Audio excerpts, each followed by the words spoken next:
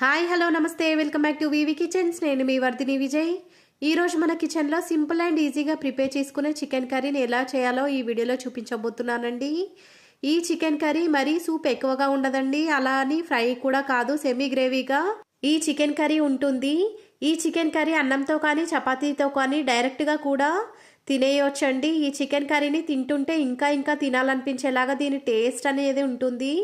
ఒక్కసారి నేను చూపించే ఈ స్టైల్లో కనుక చికెన్ కర్రీని ప్రిపేర్ చేశారంటే మీ ఇంట్లో వాళ్ళందరికీ కూడా చాలా బాగా నచ్చుతుందండి. మరెన్నో చికెన్ రెసిపీస్ మన ఛానల్లో అవైలబుల్గా ఉన్నాయండి. మీకు కనుక కావాలనుకుంటే లింక్ డిస్క్రిప్షన్లో ఇస్తాను. వీలైతే ఒకసారి చెక్ చేసేయండి. మరి ఆలస్యం చేయకుండా ఈ simple and easy tasty chicken కర్రీని ప్రిపేర్ చేయడం కోసం ప్రాసెస్ స్టార్ట్ చేసేద్దామండి. ముందుగా స్టవ్ వెలిగించి స్టవ్ పైన ఒక పెద్ద ప్యాన్ని పెట్టుకోవాలి. ఆ ప్యాన్ వేడైన తర్వాత దాంట్లోకి మూడు టేబుల్ స్పూన్ల దాకా ఆయిల్ని వేసి వేడి చేసుకున్న తర్వాత మంటను లో ఫ్లేమ్లోకి అడ్జస్ట్ చేసుకొని ఒక కప్పు దాకా సన్నగా తరిగినటువంటి ఉల్లిపాయలను వేసుకోవాలి. ఉల్లిపాయలను మంటను లో టు మీడియం ఫ్లేమ్లోకి అడ్జస్ట్ చేసుకొని ఫైవ్ టు టెన్ మినిట్స్ పాటు ఉల్లిపాయలు మొత్తం కూడా గోల్డెన్ షేడ్లోకి వచ్చేంత వరకు కలుపుకుంటూ బాగా ఫ్రై చేసుకోవాలి. వీడియోలో చూపించినట్టుగా ఉల్లిపాయలు మొత్తం కూడా గోల్డెన్ షేడ్లోకి వచ్చిన తర్వాత ఇప్పుడు ఈ ప్యాన్లోకి సన్నగా తరిగినటువంటి చేతి నిండా కొత్తిమీరను కూడా వేసుకొని కొత్తిమీరను పచ్చివాసన పోయేంత వరకు కలుపుకుంటూ మంటను లో ఫ్లేమ్లోకి అడ్జస్ట్ చేసుకొని ఫ్రై చేసుకున్న తర్వాత ఒక టీ స్పూన్ వరకు అల్లం వెల్లుల్లి పేస్ట్ని కూడా వేసుకొని అల్లం వెల్లుల్లి పేస్ట్ని కూడా పచ్చివాసన పోయేంత వరకు ఆయిల్లో బాగా ఫ్రై చేసుకోవాలి. అల్లం వెల్లుల్లి పేస్ట్ని నాన్ వెజ్ రెసిపీలు ప్రిపేర్ చేసేటప్పుడు ఫ్రెష్గా ప్రిపేర్ చేసుకొని వేసుకున్నామంటే టేస్ట్ మాత్రం అద్దరిపోతుందండి అల్లం వెల్లుల్లి పేస్ట్ మొత్తం కూడా బాగా ఫ్రై అయిన తర్వాత ఇప్పుడు ఈ ప్యాన్లోకి పసుపును కూడా వేసుకొని పసుపు మొత్తాన్ని కూడా ఉల్లిపాయలతో పాటు కలిసేలాగా ఒకసారి అడుగు నుంచి కలుపుకున్న తర్వాత ఒక కేజీ చికెన్ని వాటర్తో బాగా వాష్ చేసుకొని వాష్ చేసుకున్నటువంటి చికెన్ మొత్తాన్ని కూడా ఈ ప్యాన్లోకి వేసేసుకొని ఉల్లిపాయలతో పాటు కలిసేలాగా ఒకసారి అడుగు నుంచి కలుపుకొని టెన్ టు ఫిఫ్టీన్ మినిట్స్ పాటు పాన్ పైన మూత పెట్టి బాగా ఉడికించుకోవాలి. ఈ చికెన్ల నుంచి వాటర్ అనేది సపరేట్ అవ్వడం స్టార్ట్ అవుతుందండి. అలా వాటర్ అనేది సపరేట్ అయిపోయి వచ్చిన వాటర్ మొత్తం కూడా ఇంకిపోయేంత వరకు కూడా చికెన్ని మధ్య మధ్యలో కలుపుకుంటూ మంటను లోటు మీడియం ఫ్లేమ్లోకి అడ్జస్ట్ చేసుకొని బాగా ఫ్రై చేసుకోవాలి. మీరు వీడియోని కనుక కరెక్ట్గా అబ్జర్వ్ చేశారంటే చికెన్లో నుంచి వాటర్ బయటకు రావడం అనేది క్లియర్గా తెలుస్తుందండి. ఇప్పుడు ఇలా వచ్చినటువంటి వాటర్ మొత్తం కూడా ఇంకిపోయేంత వరకు కూడా ఈ చికెన్ని మంటను లోటు మీడియం ఫ్లేమ్లోకి అడ్జస్ట్ చేసుకొని మధ్య మధ్యలో కలుపుకుంటూ బాగా ఫ్రై చేసుకోవాలి. మంటను ఏమాత్రం హై ఫ్లేమ్లోకి అడ్జస్ట్ చేయకూడదండి. అలా చేసినట్లయితే చికెన్ అడుగున మాడిపోయే ఛాన్స్ ఉంటుంది.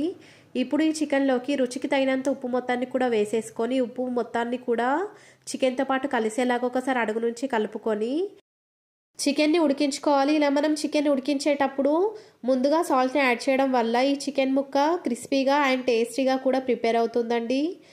సాల్ట్ మొత్తాన్ని కూడా చికెన్తో పాటు కలిపేసుకున్న తర్వాత మరొకసారి ప్యాన్ పైన మూత పెట్టి మరొక ఫైవ్ టు టెన్ మినిట్స్ పాటు ఈ చికెన్ మొత్తాన్ని కూడా మధ్య మధ్యలో కలుపుకుంటూ ఉడికించుకోవాలి. చికెన్లో ఉన్న వాటర్ మొత్తం కూడా ఎవాబరేట్ అయిపోయి చికెన్ నుంచి ఆయిల్ అనేది పైకి తేలడం స్టార్ట్ అయ్యేంత వరకు కూడా ఈ చికెన్ని ఉడికించుకోవాలి. టెన్ మినిట్స్ తర్వాత ప్యాన్ పై నుండి మూత తీసి చెక్ చేసినట్లయితే వీడియోలో చూపించినట్టుగా చికెన్ నుంచి ఆయిల్ అనేది పైకి తేలడం స్టార్ట్ అయిందండి. ఇలా ఆయిల్ అనేది పైకి తేలేంత వరకు కూడా చికెన్ని బాగా ఉడికించుకోవాలి ఇప్పుడు ఈ చికెన్లోకి. రెండు టేబుల్ స్పూన్ల దాకా కారాన్ని కూడా వేసుకొని కారం మొత్తాన్ని కూడా ఈ చికెన్తో పాటు కలిసేలాగా మరొకసారి అడుగు నుంచి కలుపుకొని ఆయిల్లో చికెన్ మొత్తాన్ని కూడా మంటను లో ఫ్లేమ్లోకి అడ్జస్ట్ చేసుకొని ఫైవ్ టు టెన్ మినిట్స్ పాటు బాగా ఫ్రై అవ్వనివ్వాలి. ఈ ప్యాన్ పైన మూత పెట్టి మంటను లో ఫ్లేమ్లోకి అడ్జస్ట్ చేసుకొని మాత్రమే ఉడికించుకోవాలి. ఫైవ్ మినిట్స్ తర్వాత చెక్ చేసినట్లయితే వీడియోలో చూపించినట్టుగా చికెన్ నుంచి ఆయిల్ అనేది పైకి తేలడం స్టార్ట్ అవుతుందండి. ఇలా ఆయిల్ అనేది పైకి తేలడం స్టార్ట్ అయిన తర్వాత మరొకసారి పాన్ పై నుండి మూత తీసి చికెన్ మొత్తాన్ని కూడా ఒకసారి అడుగు నుంచి బాగా కలుపుకున్న తర్వాత మరొక ఫైవ్ మినిట్స్ పాటు ఈ చికెన్ని మంటను లో ఫ్లేమ్లో కట్ చేసేసుకొని మాత్రమే ఉడికించుకోవాలి. ఇలా మనం ఉడికించుకోవడం వల్ల వాటర్ అనేది యాడ్ చేసే అవసరం లేకుండా చికెన్ బాగా కుక్ అవుతుందండి. ఫైవ్ మినిట్స్ తర్వాత ఈ చికెన్ కర్రీలోకి వీవీ కిచెన్ స్పెషల్ గరం మసాలాను వేసేసుకొని బాగా కలుపుకొని మరొక ఫైవ్ మినిట్స్ పాటు ఈ చికెన్ని మంటను లో ఫ్లేమ్లోకి అడ్జస్ట్ చేసుకొని మాత్రమే బాగా ఫ్రై చేసుకోవాలి. ఈ VV kitchen special garam masala making video అనేది లింక్ డిస్క్రిప్షన్లో ఇస్తానండి. మీకు కావాలనుకుంటే ఒకసారి చెక్ చేసేయండి. ఈ వివి కిచెన్ స్పెషల్ గరం మసాలాతో అన్ని రకాల నాన్ వెజ్ రెసిపీస్ని చాలా ఈజీగా చాలా టేస్టీగా ప్రిపేర్ చేసుకోవచ్చండి. ఒక్కసారి కనుక ఈ మసాలాని ప్రిపేర్ చేసామంటే అన్ని నాన్ వెజ్ రెసిపీస్కి కూడా ఈ మసాలాని యూస్ చేయొచ్చు. ఈ మసాలా నాన్ వెజ్ రెసిపీస్ టేస్ట్ని ఎన్హాన్స్ చేయడానికి ఎంతో యూజ్ అవుతుందండి. ఒక్కసారి మీరు ఆ వీడియో చూసి మీరు కూడా ఇంట్లో ప్రిపేర్ చేసి ఎలా వచ్చిందో నాకు ఫీడ్బ్యాక్ ఇవ్వడం మాత్రం మర్చిపోకండి. ఈ వివి కిచెన్ స్పెషల్ గరం మసాలాని యూస్ చేస్తూ మనం అన్ని రకాల చికెన్ మటన్ రెసిపీస్ని ప్రిపేర్ చేయడమే కాకుండా చికెన్ బిర్యానీ ఇంకా మటన్ బిర్యానీని ప్రిపేర్ చేయడానికి కూడా ఈ మసాలాని యూస్ చేయొచ్చండి.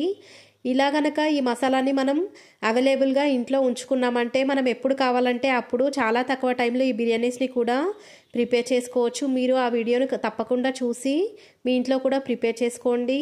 ఫైవ్ మినిట్స్ తర్వాత ఇప్పుడు స్టవ్ ఆఫ్ చేసేసుకొని ఈ ప్రిపేర్ అయినటువంటి చికెన్ కర్రీ మొత్తాన్ని కూడా ఒక సర్వింగ్ బౌల్లోకి ట్రాన్స్ఫర్ చేసుకొని మీకు నచ్చినట్టుగా అన్నంతో కానీ రోటీతో కానీ చపాతీతో కానీ వేడివేడిగా లాగించేయవచ్చు ఇంటికి ఎవరైనా అనుకోకుండా గెస్ట్లు వచ్చినప్పుడు ఎలాంటి హడావిడి లేకుండా ఈ చికెన్ కర్రీని చాలా సింపుల్గా చాలా టేస్టీగా ప్రిపేర్ చేసుకోవచ్చండి. ఈ రెసిపీ కనుక మీకు నచ్చినట్లయితే లైక్ చేయండి మీ ఫ్రెండ్స్ అండ్ రిలేటివ్స్తో షేర్ చేయండి.